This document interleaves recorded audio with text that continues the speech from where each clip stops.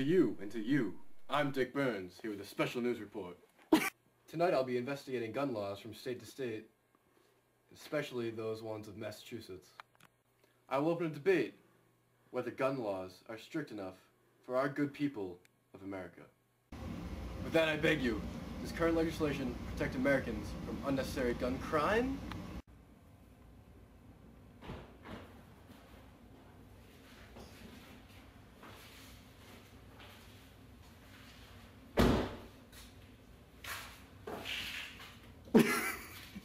Before we get into this controversial topic, allow me to catch you up on the laws, requirements on owning and purchasing firearms in the state of Massachusetts. There are three requirements in owning a rifle in Massachusetts. One, you must be 18 years of age. Two, you must take a firearm safety course. And three, you must obtain an FID card. the requirements for a firearms identification card require you to get fingerprinted, have a thorough background check, and the sheriff may reject your application if necessary. There are three requirements to own a handgun in Massachusetts. One, must be 21 years of age.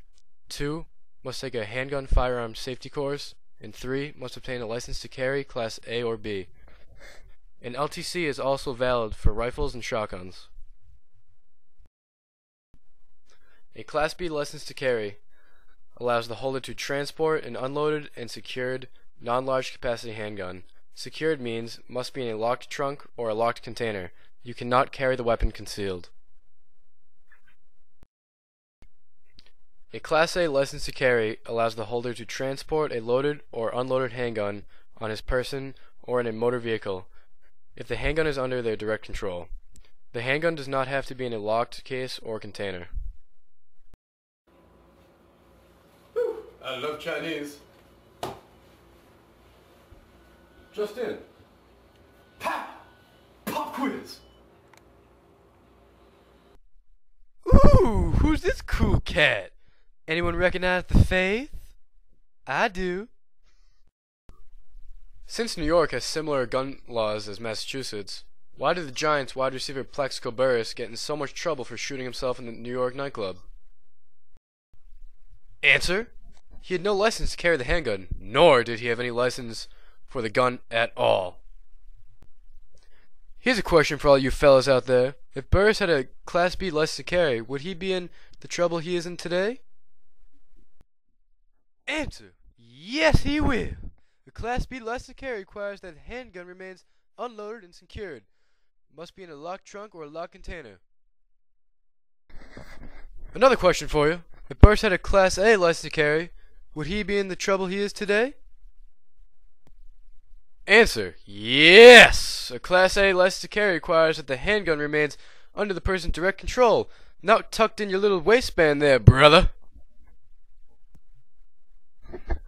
Recently in the 20th century, 10 federal gun laws have been passed. Mailing Concealable Weapons Act of 1927, National Firearms Act of 1934, Federal Firearms Act of 1938, Gun Control Act of 1968, Bureau of Alcohol, Tobacco, and Firearms Act of 1972, Law Enforcement Officers Protection Act of 1985, Crime Control Act of 1990, Brady Handgun Act of 1994, Assault Weapons Ban of 1994, National Instant Criminal Background Check of 1998. Out of all the federal laws, these are the meat and potatoes. The National Firearms Act of 1934. This act bans the sale of firearms that discharge more than one round per trigger pull. It bans automatic firearms.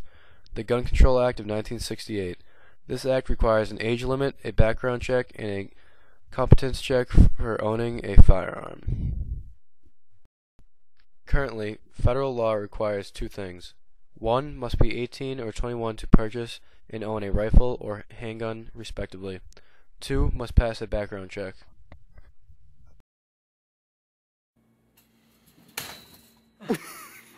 Although Massachusetts seems to have an appropriate measure of gun control safety, some states may not be so fortunate. These are the top five states of 2008 with the most gun deaths per 1,000 people. Louisiana led with 19.58, followed by Alabama, Alaska, Mississippi, and Nevada. All five of the previous states, which led the nation in gun deaths for 2008, have lax gun laws. These states require only the bare federal minimum. Coincidence? Mib. Shootings that have taken place in our recent times have all had one thing in common. They have very weak gun laws in each of their states. teams in about the last 10 minutes. We understand that the uh, the shooters and still many students, unfortunately, are probably still inside the school. But this is certainly good news, Tony, to see so many so many young people be able to get to safety.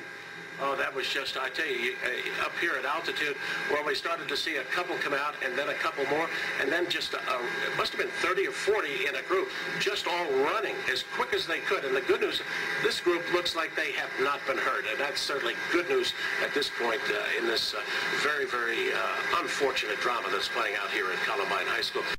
On April 20th of 1999, Dylan Klebold and Eric Harris murdered 12 fellow students, injured another 21, and killed one teacher at Columbine High School during school hours. The two shooters eventually took their own lives, ending the nightmare. Columbine High School is located in the state of Colorado. Colorado does not require any permit for the purchase of any rifle, shotgun, or handgun. Colorado does not require that any gun safety course be passed prior to owning a firearm.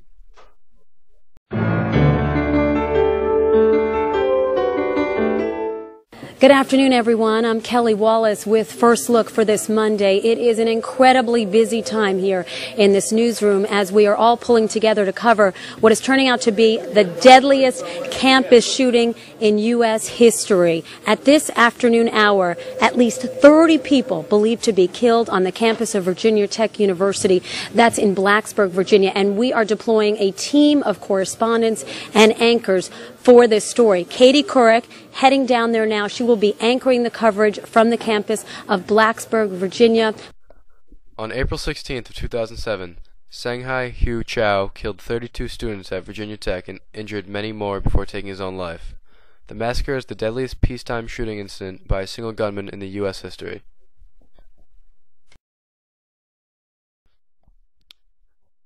Virginia requires a background check for purchasing a firearm. It does not require a permit for purchasing a firearm. Virginia does not require that a person take a safety course before purchasing a firearm.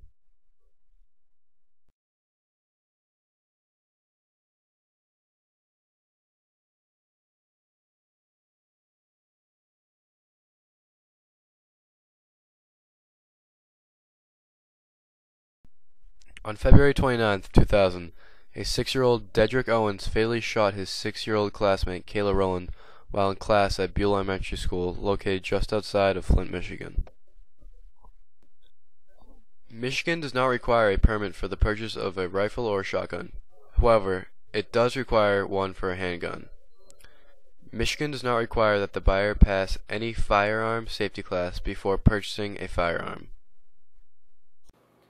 Although all the states that the shootings took place in were very lackadaisical, one couldn't help to think that if they were more like Massachusetts gun laws, if things could have been different.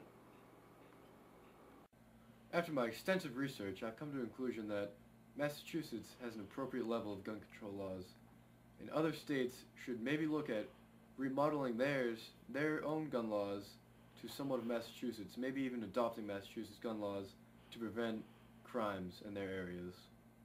Thanks for tuning in on this NBC special about gun laws. I'm Dickie Burns. And for all you watching out there, farewell and adieu to you fair Spanish ladies. You know I like 'em.